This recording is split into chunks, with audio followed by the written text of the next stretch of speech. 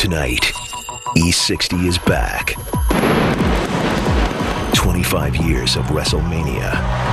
Unprecedented behind the scenes access. WWE Championship. With the man behind the mayhem. In a fight of any kind, physical, otherwise, if I'm not dead, I win. Let's get it going. Jeremy, what do you got? You could make the case that World Wrestling Entertainment, Vince McMahon's company, is the most successful sports entertainment entity in the world. They've been kind enough to grant us a lot of access to tell this story. So, Jeremy, in this piece, are we going to get the real WWE and the real Vince McMahon, or is this, are they trying to script this one too? I think you'll see a Vince McMahon you have not seen before.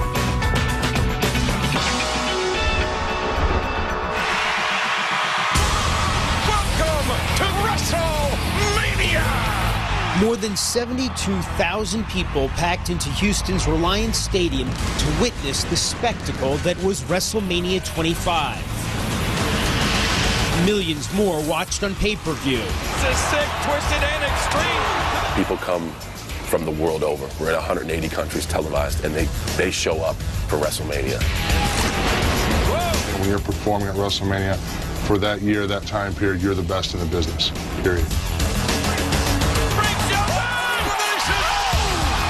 More than anything else, WrestleMania, the culmination of the pro wrestling year, is a testament to the vision of one man. This man, 63 year old Vince McMahon. What inspired you to create WrestleMania? Well, really, it's pretty much common sense. You know, football is a Super Bowl, there's the World Series, there's the Academy Awards, the Grammys, so why shouldn't we have our big special day? Yeah! Welcome to WrestleMania. But the first WrestleMania, staged at Madison Square Garden in 1985 and before the advent of pay per view, could easily have been the last. What do you remember about that first WrestleMania 24 years ago? It was a roll of the dice. You know, it was like it didn't have to work. 25,000 on there. And had we not been successful that night, I certainly would not be sitting here with you.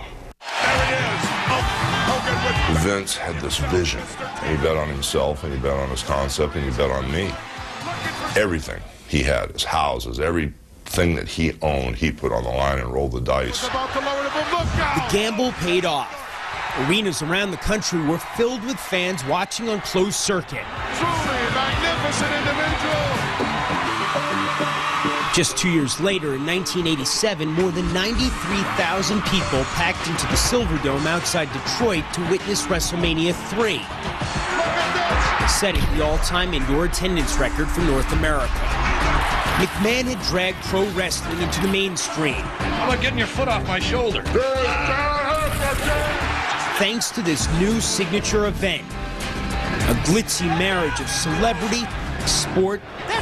Pete Rose. And entertainment.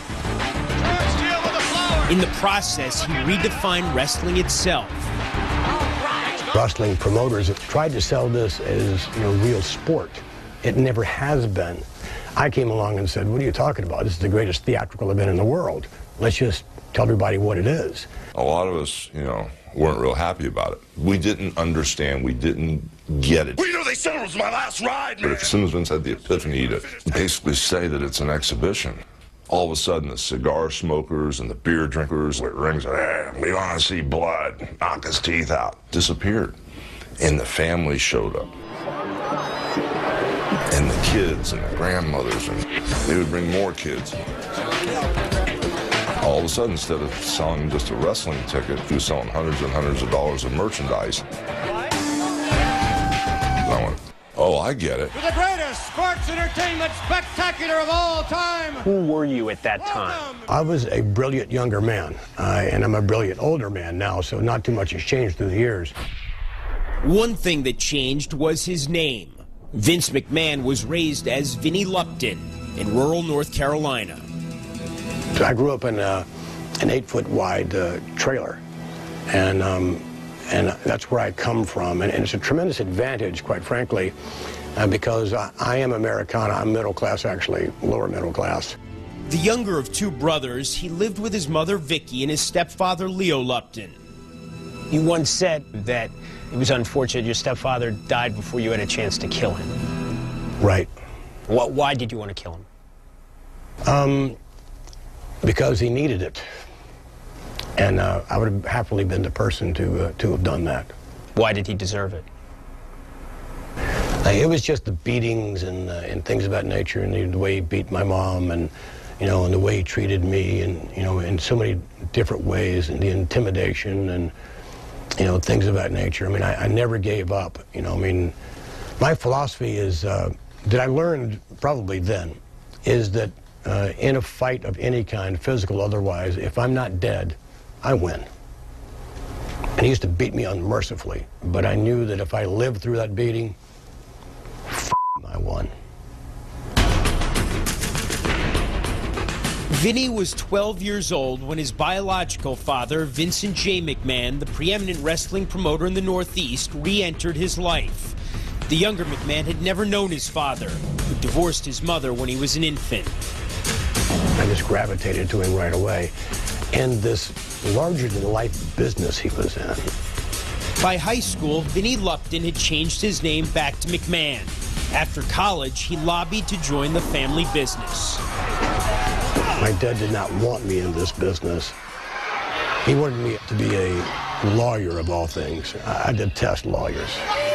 In 1972, when Vinny was 27, his father gave him one chance. My dad told me that he had a promoter in Bangor, Maine that was stealing too much. Not stealing, stealing too much. And so he throws the promoter out and he says, I'm going to give you one shot. If you're not successful in Bangor, Maine, you're done. Bangor was a success. In 1982, after a 10 year apprenticeship, including a stint as an announcer, Everyone, welcome to Championship Wrestling. My name is Vince McMahon, and scheduled this week we're going to be taking McMahon bought out his father's business. Immediately, he set about transforming a regional business into a global enterprise. And my dad, I don't think would have ever sold me the business if he knew really what I wanted to do with it. He had no idea that I would go off and compete with a lot of his friends, you know, uh, in the wrestling business. And drive them out of business. Uh, they drove themselves out of business, I'd like to say. Vince had a much bigger game plan. Sports columnist Mike Mooneyham of the Charleston Post and Courier has been covering pro wrestling for more than 30 years. He gobbled up all of the top stars, ran all of the old promoters out of business, and wrestling has not been the same ever since. It's a program, see program, get a program. The company McMahon bought from his father, now known as World Wrestling Entertainment, is today an $800 million behemoth traded on the New York Stock Exchange.